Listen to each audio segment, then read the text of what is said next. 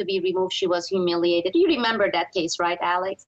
And I tell people, I bet you one day, one hour before that incident happened, that lady, if she would have heard me talk about it or you, Alex, would said, "Oh well, we had terrorist attack. These men, young men, are doing their jobs." Until it happened to her, and then she stood up and she said, "This is tyranny. This is despicable. This is humiliating." Do we have to wait for these things to happen to every single one, or majority of our people. Well, Can't we just watch others and say that's like happening to me or to my kid? Why do we have to wait until it happens to us?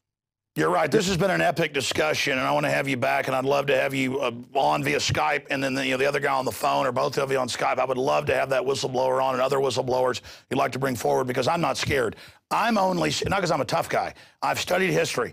I'm scared of giving in to these people and the world they're going to create for everybody. And we only have the liberties we have because people fought hard for them. And I know there's good people in the government and corporate America. I know they're everywhere. Sometimes I paint with a broad brush because the system itself is broken. And I'm tired of saying, oh, well, there's some good people, and but there's some bad or good apples, bad apples. The bad apples are all at the top. So the whole system has been taken over. And now Newsweek and Time say the Constitution's bad and it did this. No, we got rid of it and we didn't defend it and we let them eat little holes in it because, oh, just a little bit. Now it's all gone.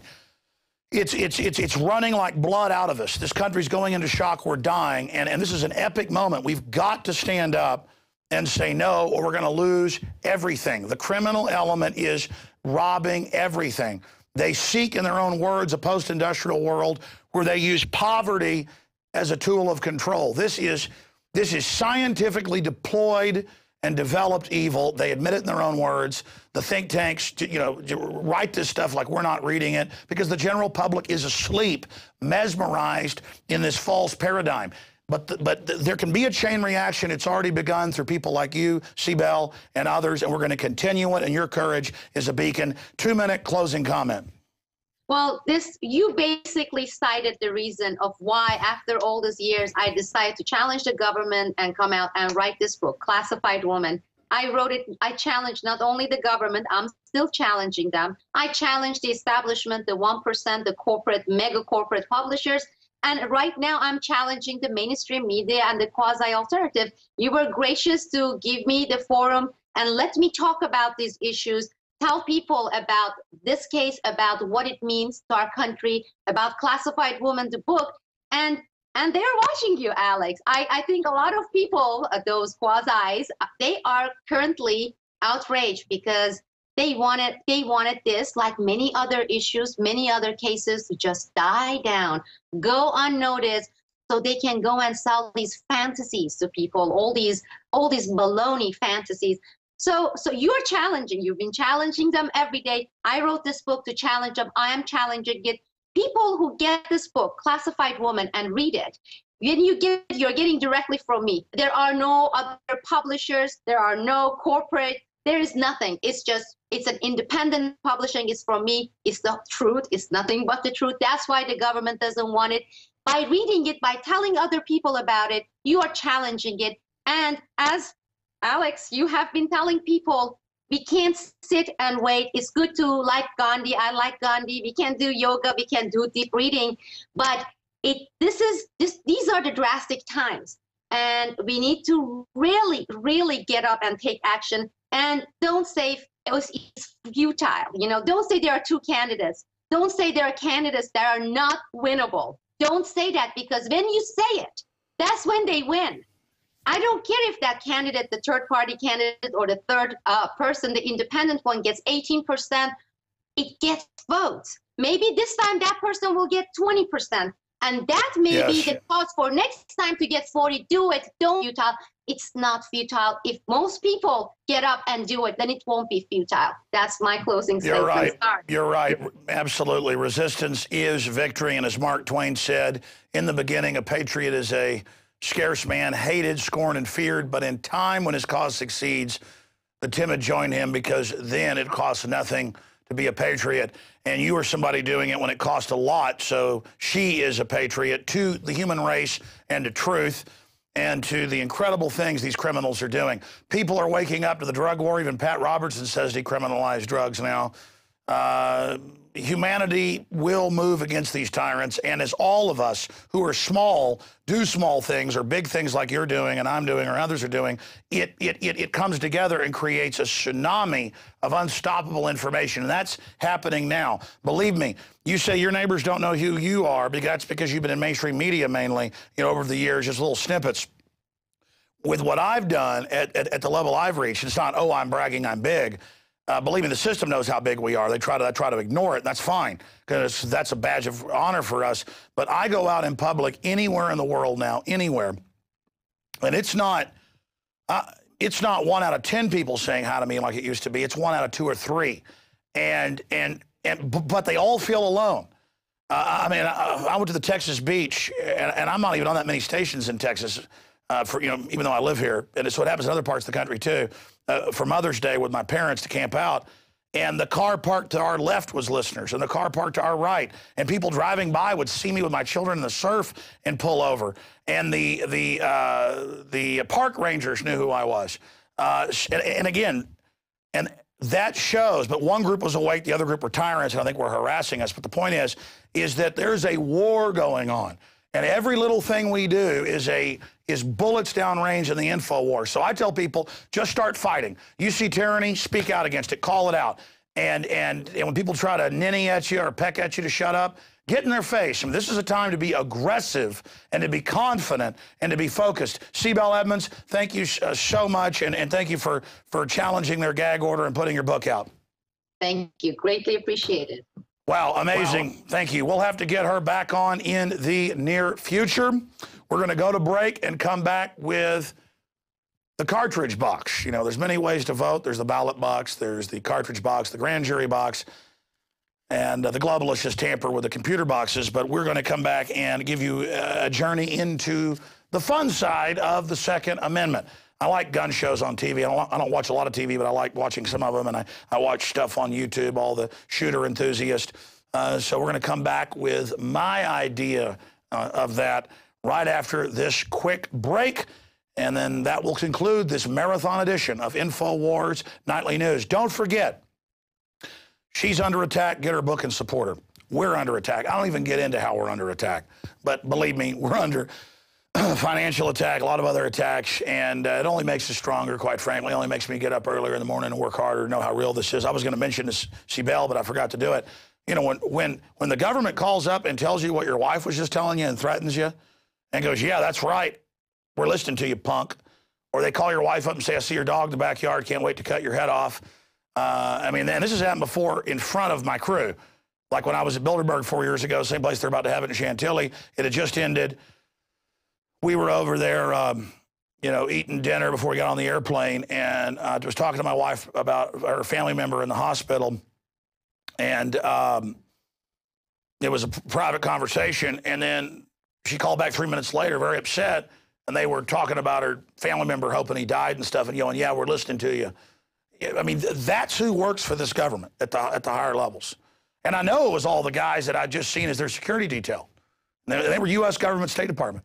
They think calling up and being mean to an American citizen, a journalist wife, is cool. Listen, buddy, all you did was give me massive energon cubes. You understand that? All you did was give me fuel. All you did was recommit. All the stuff, that's not, there's a hundred other stories. All of that only lets me know how real it is. Believe me, folks, this stuff is real, okay? This is so real, I can't even explain to you. And these are bad people. And the little minions think it's cute to call up and tell somebody's wife stuff like that. People that call up and threaten to cut her head off, stuff like that. Folks, do you want your kids growing up in a country like this? I know you don't care, you're a mercenary. But there's a lot of people in the system who aren't bad. You feel bad when you're part of this for a reason. It's not good for humanity. I see so many cases now where cops or retired cops have their sons and daughters tasered or beaten to death for no reason by police. Folks, this all this comes back on you. All this stuff's going to come back on you. That's look, you don't have to wait to die to be judged. You can debate all that all day. I've learned one thing. What you do comes back on you. What you do comes back on you. And you can call that God-fearing. It's like you feel the universe looking at you. You know when something's not good. You got to go with that conscience. Okay? That's, that's your inner compass. The globalists want you rudderless. Don't be rudderless. We're going to come back and uh, have some fun. I tell you, this is spectacular. This is spectacular. First half's powerful. Second half, spectacular. 15-day free trial, prisonplanet.tv. You put fuel in our tank, help us be strong, help the crew be strong and be financially secure so they can work hard and just work hard for liberty, work hard for ourselves, work hard for you. We're all in this together. We're all in this together. I can, I can feel the power of humanity rising. We are going to stomp the globalist right back to hell where they came from. Stay with us.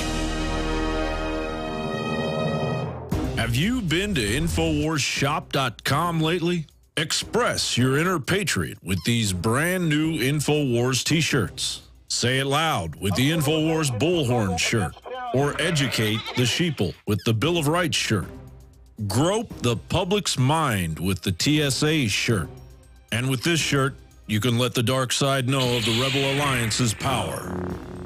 All available at InfoWarsShop.com. We've done a lot of things in 17 years of the info war, but I've always wanted to do a gun show for five or six years. Now they're so incredibly popular, I figured we should uh, start producing every week or every few weeks a local gun show and to show it to the rest of the country and the rest of the world. And our next episode is going to be even more powerful, but this one turned out pretty darn good. Now, the first half is interesting and informative dealing with self-defense and shotguns and things. But then it goes into high gear in the second part. So here is the first installment of Brothers in Arms. Welcome back to InfoWars Nightly News. Viewers know that I am a staunch defender of the Bill of Rights and Constitution. And chief amongst those rights is the right of self-defense that every tyrannical system has sought to curtail. Our country was founded back in 1775, 1776, when the corrupt British Empire attempted to disarm the people. Lay down your arms! You won't my gun! By God, we will have them all! Our ancestors fought back, and our wonderful republic, the United States of America, was born. Well, I seek to defend the Second Amendment via the First Amendment, the right of the press and free speech.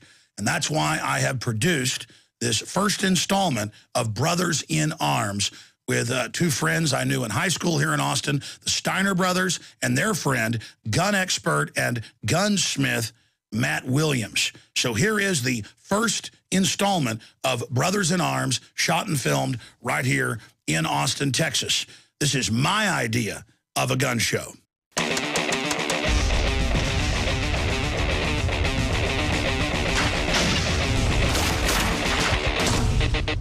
I'm Tommy Shane Steiner, this is my brother Sid. Along with our pal, firearms instructor and gunsmith, Matt Williams, we're Texans and Americans who support and celebrate the Second Amendment, which makes all of us brothers in arms.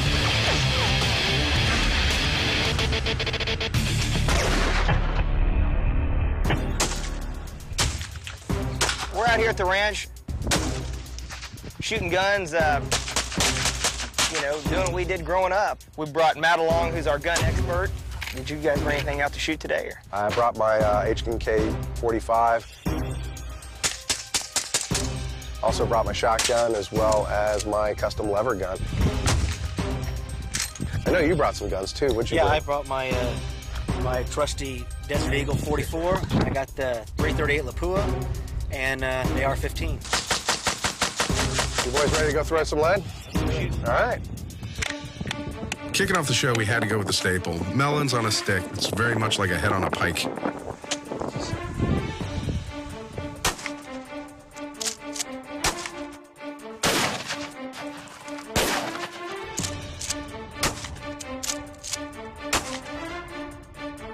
I just had to take a couple shots myself at the melons.